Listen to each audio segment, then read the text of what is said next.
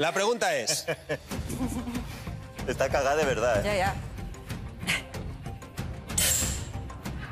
Cuidado. ¿de qué dúo era el famoso cantante con el que le atribuyeron un falso romance a Ana Torroja?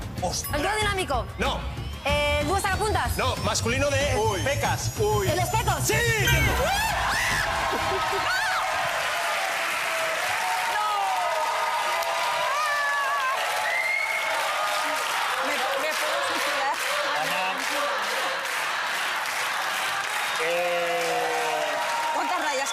no queda, es que no queda. Sí, sí, Ana, Pero confía.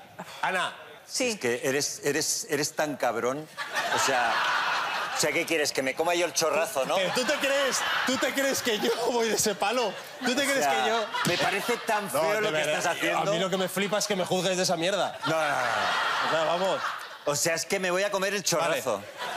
Y esta frase fuera de contexto no me la pongas. Tú, eh, escúchame bien, ¿vale? Concéntrate en mí. Ya verás. La pregunta es, ¿en dónde trabajó Santi Millán para pagarse los estudios de interpretación? ¿Dónde se matan animales? ¿El matadero? ¡Páralo! ¡Sí, sí, páralo, páralo, páralo, páralo, páralo, páralo! ¿En serio?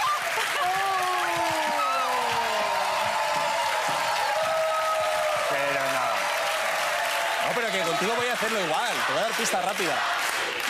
Venga, Santi, Lo valiente. siento. Que no, se, que no se despeina eso.